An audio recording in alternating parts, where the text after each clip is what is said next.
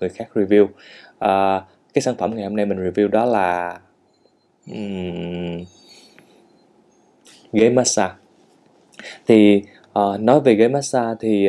rất hẳn là mọi người trong chúng ta rất là nhiều người đã từng sử dụng cái ghế massage này. Chúng ta có thể từng gặp bắt gặp những người uh, đi siêu thị ngồi ở ghế massage ở sân bay gọi massage và các trung tâm thương mại gọi ghế massage. Thì cái cái công dụng của ghế massage thực sự nó rất rất là rất là tốt cho sức khỏe của uh, người người sử dụng. Uh, tuy nhiên mình có những cái vấn đề mình đang nói tại vì uh, thứ nhất là trong tình hình uh, dịch bệnh và cái việc cách ly ở nhà thì nếu trong nhà mình có cái ghế massage để mà có thể là chúng ta thư giãn có thể đấm bóp hoặc là tất cả các các bài massage uh, thì đối với mình thì nó thực sự nó rất rất rất là tốt. Tuy nhiên có một vấn đề mà mình muốn chia sẻ với các bạn đó là cái chất lượng của một cái ghế massage Uhm, thật ra để làm một cái ghế massage thật sự không hề khó và công nghệ uh, không hề quá phức tạp. Chính vì thế thì cái việc mà uh, rất nhiều hãng ghế massage uh, trên thị trường hiện nay có rất rất rất nhiều có nhiều giá khác nhau, có nhiều chủng loại khác nhau, có nhiều công nghệ khác nhau. Chính vì thế thì rất khó để chúng ta có thể chọn lựa được một cái ghế massage nó phù hợp và đặc biệt nó không ảnh hưởng đến sức khỏe con người. Về cơ bản à, các bạn biết rằng cái ghế massage thì nó sẽ tác động trực tiếp lên da và lên cơ và các hệ khớp xương của của người sử dụng. Nếu thực sự một cái massage nó được nghiên cứu một cách cẩn thận nghiên cứu một cái cách uh, phù hợp với sức khỏe và đúng chất lượng của một cái ờ, uh, ghế massage thì cái chi phí nó thực sự rất là mắc không hề không hề rẻ. Tuy nhiên trên thị trường hiện tại các bạn biết một cái massage có thể to đùng và rất là bự quảng cáo rất là hoành tráng nhưng mà cái giá nó tầm khoảng uh, 15 17 triệu một cái ghế massage to đùng và có đầy đủ các tính năng và các chức năng. Uh, thì cái việc này mình um, chúng ta nên xem lại về cơ bản tiền nào của nấy thì đó, đối với mình là như vậy. Thì về cơ bản thì mình cũng không phải là một người uh, gọi là chuyên gia trong lĩnh vực ghế massage. Tuy nhiên khi mình chọn một cái ghế massage cho cho gia đình thì mình luôn luôn nghiên cứu kỹ cái thứ nhất là cái nơi xuất xứ của ghế massage đó cái hãng uy tín của ghế massage đó và cái đặc biệt là cái giá tiền giá tiền nó phải thực sự phù hợp với cái uh, cái chất lượng cũng như thương hiệu cũng như công nghệ và cái massage mang lại và đặc biệt cái cái nơi sản xuất và cái nơi lắp ráp cái massage như thế nào. À, ở đây thì mình không có mục đích mình giới thiệu cho cái thương hiệu mình đang đang xài. Mình chỉ uh, cái clip này thì mình chỉ muốn review review và nhắc nhở và muốn chia sẻ mọi người cái cách sử dụng và cách chúng ta chọn một cái massage thôi chứ không ra mình không có cái mục đích giới thiệu cái ghế massage mà mình uh, mình đang sử dụng. Uh, thì thứ nhất là khi uh, cái kinh nghiệm của mình khi mình sử dụng ghế massage thì thứ nhất đầu tiên là chúng ta phải tìm được hiểu được cái cái công dụng của ghế massage như thế nào. Cái thứ hai là chúng ta phải tìm được cái thương hiệu mà nó nổi tiếng và nó uh, nó phổ biến ở thị trường. Và cái thứ ba là chúng ta phải tìm hiểu là cái nơi xuất xứ của cái ghế massage đó. Và cái thứ năm là chúng ta sẽ xem xét các lượt review những cái người đã từng sử dụng cái ghế massage đó như thế nào. À, và cái thứ sáu là cái giá tiền. Cái giá tiền nó sẽ ảnh hưởng và nó uh, cái giá tiền nó sẽ ảnh hưởng đến cái chất lượng cũng như cái sản phẩm mà chúng ta sử dụng. Uh, thì cái ghế massage mình đang mình đang ngồi nó tên là Oyama Ogawa. Ya Ogawa Yama uh, Ogawa sorry các bạn. Um, um, chính xác nó tên là Ogawa. Uh, nó được xuất xứ và là ráp tại Nhật.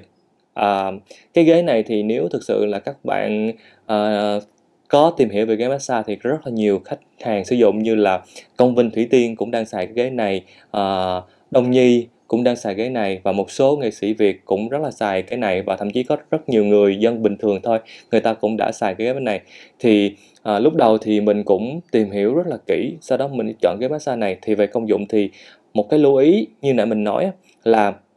cái ghế massage thì các con lăn của nó nó sẽ tác động trực tiếp lên cái khớp xương của mỗi mọi người. Như vậy thì vấn đề chỗ nằm ở chỗ là nếu thực sự là tại vì cái cái hệ cơ và hệ xương của mỗi người khác nhau chính vì thế thì nếu một, một cái massage mà nó thực sự tốt á, thì khi một cái người nằm lên thì đầu tiên nó phải cân nó phải cân cái body của người đó so với trọng lượng tác động lên con lăn là cái thứ nhất. Cái thứ hai nữa là nó sẽ tự động tính toán cái cái cái cơ xương và nó tự động đo các khớp khớp xương của chúng ta trước khi chúng ta massage. Và cái cái thứ ba nữa là nó sẽ có những cái hệ thống cảm biến để nó cảm biến được cái uh, cái lượng lưu lượng mỡ trong máu hoặc là những cái uh, nó có thể kiểm tra được cái vấn đề giống như kiểu là những cái cơ này chúng ta có thể bị mỏi thì trước khi massage thì nó phải làm các việc như vậy. Và cái quan trọng nhất là gì? Nó đo được hệ xương để khi mà những con lăn nó nó nó chạy và nó nó lăn trên cơ thể người á thì nó không làm ảnh hưởng nó không làm chặt những khớp xương nó không làm những cái uh, gây những chấn thương chúng ta. Tại vì ở khớp xương và những da thì cũng có những cái tế bào thần kinh nó ảnh hưởng trực tiếp. Uh, mình thấy một điều là có rất nhiều người họ uh, cũng chọn những cái thương hiệu ghế massage uh, uh, này nọ. Và khi một sau thời gian sử dụng tầm khoảng tháng hai tháng á, thì uh, họ không muốn xài nữa tại vì nó sẽ nó làm đau và nó làm chặt cái khớp xương. Và khi đi khám chỉnh hình á thì uh, nó bị nó khớp xương nó bị sai lệch. Và điều đó nó ảnh hưởng tới cái những cái vận động và những cái những cái uh, vận động của người sử dụng sau này. Thì sau thời gian thì người ta cũng dẹp một bên. Còn đối với mình thì với cái ghế này thì mình đã sử dụng được hơn hơn một năm. Uh, hơn một năm và mình thấy sau mỗi giờ làm việc và sau mỗi lần mà bị stress hay là sau khi đặc biệt là mỗi lần mà mà lái xe đường xa thì mình về mình tắm và sau đó mình ngồi lên massage và mình chọn những cái bài massage chức năng yêu thích giống như là uh, Chinese massage, Thái massage, rồi ballet massage hoặc là chọn những cái bài đó vân thì mình thấy nó thực sự hữu hiệu. Uh, uh, tiếp theo nữa là về vấn đề uh, về giá thì trong quá trình thực ra ghế, ghế massage nó cũng là một cái hình thức kinh doanh nó rất là là phổ biến và cái ghế massage thì uh, có rất là nhiều giá. Tuy nhiên cái dòng mình chọn và cách mình sẽ điêu giá như thế này. Uh, cái giá cái ghế massage này thì cái giá nó tầm khoảng giá list của nó nó tầm khoảng 250 triệu. Thì Uh, thực sự mình lúc mình đầu mình nghe một cái giá nó rất là sốc tại vì nó quá cao nó quá cao so với cái cái cái trong cái cái cái cái suy nghĩ và cái trí tưởng tượng của mình. Nhưng sau quá trình mình tìm hiểu mình à, discount mình xin này nọ vân và mình thật sự rất không mua nhưng mà mình sẽ có những cách mình từ chối ô mình không thích giá này cao quá vân vân. Và cuối cùng là cái giá này khi mình mua thực sự cái giá này nó tầm khoảng uh, lúc chốt luôn là 160 triệu. 160 triệu. À, nó bao gồm cái ghế massage với lại cái tablet này để chỉnh chỉnh các các chức năng trong quá trình massage. Thì à, nội cái ghế massage này thì nó thứ nhất là nó có chức năng con lăn 4D nó đo được cái khớp xương rồi nó tương tác qua hệ điều hành Android iOS nó có chức năng điều khiển bằng giọng nói và đặc biệt hai cái lo hai bên khi mà mình nằm xuống nghe cực kỳ hay. Có nghĩa là nó khi mà nếu mà thực sự mình mệt á nằm trên ghế massage này mình nằm mình nghe cái là là thực sự nó rất là rất là phê